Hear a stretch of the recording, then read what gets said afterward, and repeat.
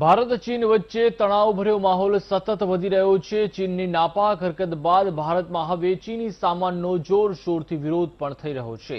કેન્દ્ર સરકાર દ્વારા ચીનની ઓગણસાઠ એપ્લિકેશન પર પ્રતિબંધ મૂક્યા બાદ હવે લોકો પણ ચીની સામાનના વિરોધમાં રસ્તા ઉપર ઉતરી આવ્યા છે. તેવામાં વેપારીઓએ પોતાની દુકાનોના બોર્ડને ઢાંકવાની જરૂર પડી છે. ત્યારે કેવો છે વિરોધનો માહોલ જોઈએ આ રિપોર્ટમાં. એક તરફ ચાઇનીઝ વસ્તુઓનો વિરોધ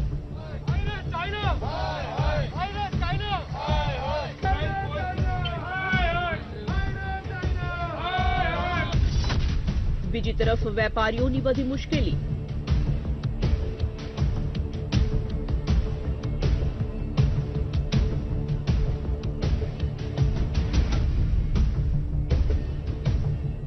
જવું તો જવું ક્યાં, આવી સ્થિતિ હાલ દેશમાં બની છે.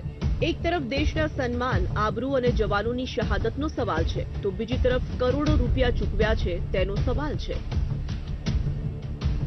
કારણ કે એક તરફ ચીનના નાપાક હુમલામાં વીસ જવાનો શહીદ થયા બાદ જોરશોરથી વિરોધ ચાલી રહ્યો છે. ચીન સામે બદલો લેવાની માંગ ઉઠી રહી છે. લોકોએ દેશની અંદર જ ચીનના સામાનનો બહિષ્કાર કરવાનું શરૂ કરી દીધું છે. તો બીજી તરફ વેપારીઓની મુશ્કેલીઓ વધી ગઈ છે. કારણ કે લાખો કરોડો રૂપિયાનો ખરીદેલો સામાન ગોડાઉનોમાં પડ્યો છે. તેવામાં જો પ્રતિબંધ લાગે, તો તેમને ભારે નુકસાન ઉઠાવવું પડી શકે છે. આ તસવીર અમદાવાદ શહેરમાં આવેલા ચાઇના માર્કેટની છે, જ્યાં વેપારીઓએ પોતાના દુકાનો પર લગાવવામાં આવેલા ચાઇનીઝ બ્રાન્ડના બોર્ડને ઢાંકવા પડ્યા છે. કારણ કે હવે કેટલાક લોકો ચાઇનીઝ વસ્તુઓના બહિષ્કાર માટે રસ્તા પર નીકળી પડ્યા છે અને આવા લોકો તેમને નુકસાની પહોંચાડે તેવો પણ વેપારીઓને ડર છે. પરંતુ આ વેપારીઓ માટે પોતાની દુકાનો બંધ કરવી અઘરી છે. શા માટે? તો જરા તેમની પાસેથી જ સાંભળો. અત્યારે જે રીતનો દેશ દેખાઈ રહ્યું છે કે ચાઇનાનો બહિષ્કાર ફૂલ જોરશોરથી ચાલી રહ્યો છે, પણ ઇલેક્ટ્રિક વસ્તુ એવી વસ્તુ છે કે એને તરત નથી થઈ શકે. આપણે ઇન્ડિયન મેન્યુફેક્ચર હજી બહુ ટાઈમ લાગશે એને બનાવતા. તો એને ધીરે ધીરે અત્યારે ઓલરેડી ચાઇનાથી માલ આવવાનો તો ઓલરેડી બંધ જ થઈ ચૂક્યો છે. પણ જે માલ પડ્યો છે, એને ધીરે ધીરે વેચવા દો. તમારો માલ જે ભરાયેલો છે કસ્ટમ બસ્ટમમાં ક્લિયર થવા દો. એ માલ ક્લિયર થઈને આવશે. જે વેપારીએ ખરીદેલો છે માલ, એમના પૈસા ચૂકવી દીધેલા છે, એ માલ ક્લિયર થવો જરૂરી છે. બાકી વેપારી એમને એમ તૂટી જશે અને ગ્રાહકને પણ અહીંયા તમને બમણો ભાવ જોવા મળશે. બજારમાં તમે જોઈ જ રહ્યો છો કે આખું બજાર ખાલી ખમ પડ્યું છે. કેમ કે હવે જે વસ્તુ પાંચસો સાતસો રૂપિયામાં થતી હતી એ જ વસ્તુનું અત્યારે સત્તરસો અઢારસો રૂપિયા પ્રાઇસ કસ્ટમરો જોડે લેવા આવી રહ્યો છે. તો કસ્ટમર કોઈ પોસિબિલિટી નથી કે અહીંયા આવીને એમનું જે બી હોય મોબાઈલ મોબાઈલ રિપેરિંગ કરાવી શકે. ડ્રેગનના વિરોધમાં હવે મેદાનમાં જનતા.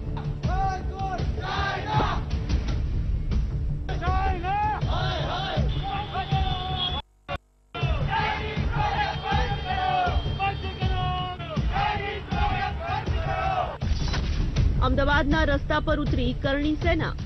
અમે લોકોએ અલ્ટિમેટમ આપ્યું છે કે એક મહિનામાં આમની જોડે જેટલા ઇમ્પોર્ટ માલ છે એ સારું. હવે કોઈ માલ ઇમ્પોર્ટ ના કરે એના માટે એક મહિનાનો અમે લોકો ટાઈમ આપ્યું છે એમને. આ ગુસ્સો છે જવાનોની શહાદતના બદલા માટેનો. આ ગુસ્સો છે જવાનો પર હુમલો કરનાર ચાઇનાની કમર તોડવા માટેનો. આજે અમદાવાદના રસ્તાઓ પર કરણી સેના ચાઇનીઝ વસ્તુઓના બહિષ્કાર માટે નીકળી. કરણી સેનાના કાર્યકરોએ શહેરના રિલીફ રોડ પર અને અન્ય વિસ્તારોમાં આવેલી મોબાઈલ માર્કેટ પર જઈને વેપારીઓને ચેતવણી આપી કે તેઓ માત્ર એક મહિનાની અંદર જ ચાઇનીઝ વસ્તુઓનો વેપાર કરવાનું બંધ કરી દે. આ સાથે જ કેટલીક જગ્યાઓ પર લોકોએ ચાઇનીઝ વસ્તુઓની તોડફોડ પણ કરી. લોકોનો આ ગુસ્સો જ દર્શાવે છે કે ચાઇનાની નાપાક હરકતથી તેઓ કેટલા નારાજ છે. એક મહિનામાં તમારી પાસે જે સામાન છે, China made made in China, એ તમારે વેચી દેવાનું છે, ખતમ કરી દેવાનું છે સ્ટોક રાખવાનું નથી. અને આ એક મહિનાના વચ્ચે જો તમે કોઈ માલ ઇમ્પોર્ટ કર્યું ચાઇનાનું, તો કરણી સેના તમારા દુકાને તાળું લગાવીને ચાવી લઈ જશે. અત્યારે રજૂઆત આ દુકાનદારોને આવું છે.